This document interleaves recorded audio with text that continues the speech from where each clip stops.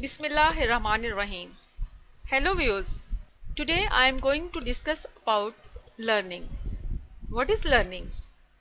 Learning is relatively permanent change in behavior that is because of experiences. In this definition, there are three important points. Number one, learning is a change in behavior. It is a change which occurs because of experiences and not because of growth. It is permanent change. You can also say that learning is a process of gaining knowledge and expertise. Furthermore, it is to gain knowledge of or skill in something study, teaching, instruction or experience. Now we look at the definitions of learning. Gates describe that learning is the modification of behavior through experiences. Woodworth says any activity can be called learning so far as it develops the individual in any respect, good or bad, and makes his later behavior and experiences different from what they would otherwise have been. From these definitions, we concluded that learning is more comprehensive than memorizing and recalling of information. It is acquiring knowledge, understanding, relate new knowledge to the previous one, ability of critical thinking and it is the application of knowledge in new situation. It creates scientific attitude in individuals. They make analysis and on the basis of evidences, they solve their problem. It also develops the qualities of life skills in students. They can easily communicate, work in team, make decisions and make adjustment in life. Learning is much important for the adjustment of life. If a person does not change his attitude, then he cannot survive in this environment. So, learning is a change in attitude and behavior. Nature of learning. It is continuous process. It continues from womb to tom. If someone says that he has learned everything, then this is not true. It is a process of social adjustment in a society. A person gets adjustment in society through learning.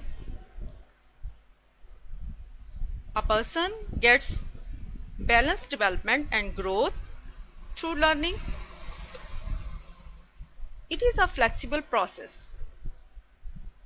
It changes according to the needs of an individual and society. It brings permanent change in the behavior. Learning brings modification in behavior. Past experiences plays a vital role in our learning. Individual differences are also much important in the process of learning.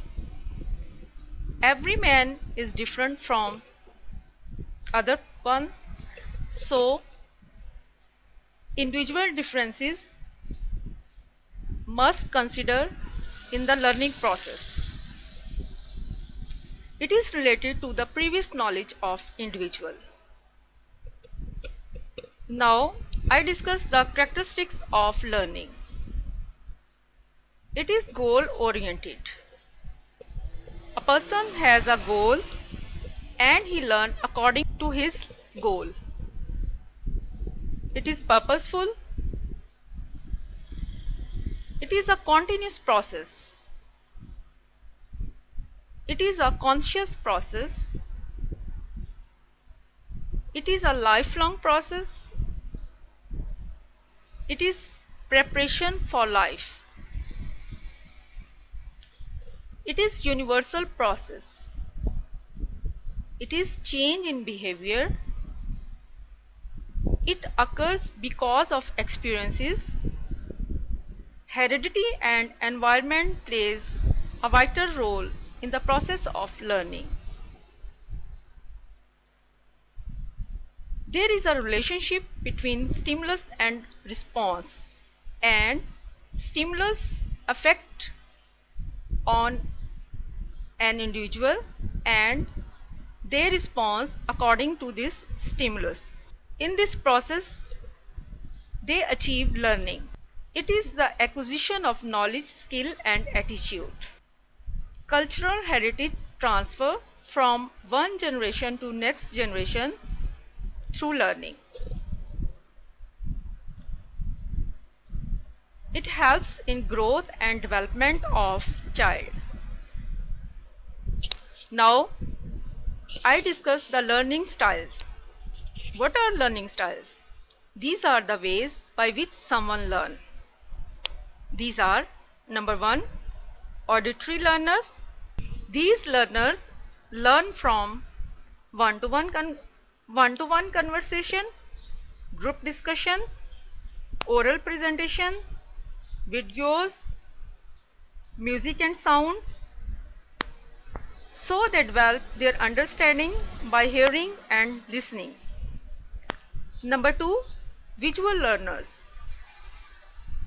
This type of learners learn through graphs, illustrations, pictures and charts, videos, powerpoints, articles, symbols and diagrams. Number three is Kinesthetic learners. These learners learn through hands-on activity, walking meetings, role play and they learn by doing, touching and moving. Thank you viewers. I hope this lecture will be helpful for you. Please subscribe my channel and like.